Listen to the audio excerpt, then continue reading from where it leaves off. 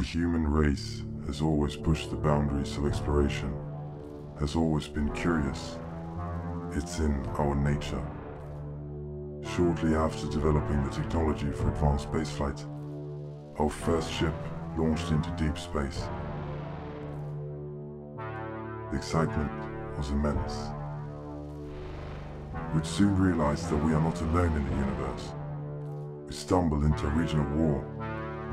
We were forced to pick up arms to protect ourselves. Our fate is in your hands.